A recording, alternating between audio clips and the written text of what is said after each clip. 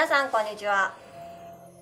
B レジェンド管理栄養士の布目です、えー、今日はですね、えー、まあ、タンパク質と、えー、運動に、えよるですね筋肉合成、え促進についてですねのお話をしたいと思いますえー、筋肉合成促進は24時間続くというテーマで、えー、お話したいと思います。よろしくお願いします。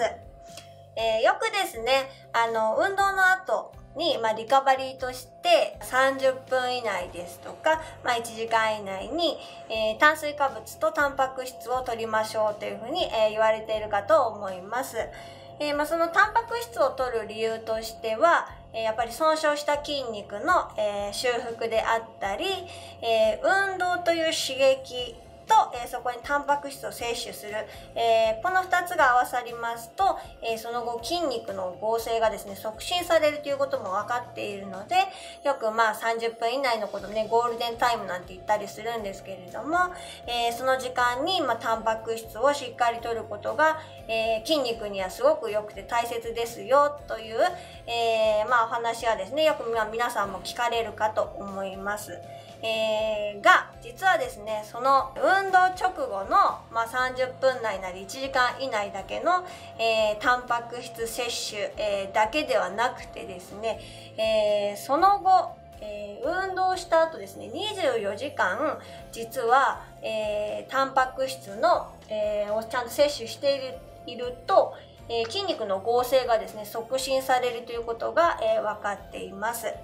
なので、えー、まあね、皆さん多分今は運動の後はよくプロテイン飲んでいただいたりして、タンパク質、運動直後は、えー、足りているかと思うんですけれども、まあ多分おそらくトレーニングする目的としては、えー、筋肉増やしたい、えー、というバルクアップをしたいというような目的で、えー、されている方が多いかと思うんですが、それをですね、有効に使うためには、え、その直後だけではなくて、その運動終わってから24時間、まあタンパク質をえ、こまめにちゃんと摂取することというのが、え、重要になってきます。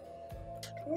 まあ、どれぐらい取ったらいいのかというのは、まあ、いつもお話ししている通り、まあ、これは諸説いろいろありますが、まあ、B レンジエンドではですね、いつもご自分の体重1キロをかける、まあ、2グラムのタンパク質ですね、を、まあ、1日に取りましょうというお話を、えー、しております。例えば体重50キロの人でしたら、まあ、100グラムのタンパク質ですね、これを1日に取りましょうって話してるんですけれども、なので、その量をですね、運動が、えー、終わった後、えー、その24時間の間にしっかりその量をですね、えー、取るようにしていただくと、えー、よりですね、えー、筋合成が、えー、促進されますので、ぜひ、えー、その時間も大,、えー、大切に考えていただいて、えー、タンパク質を意識していただければと思います。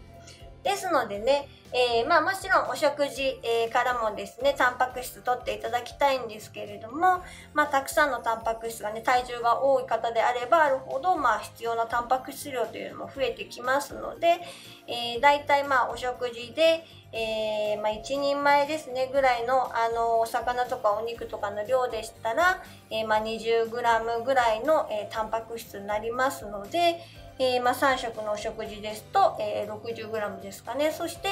えー、まあ、1日に必要な分のさ、え足りない分ですね。というのを、まあ、補食なり、えプロテインで、え補っていただければと思います。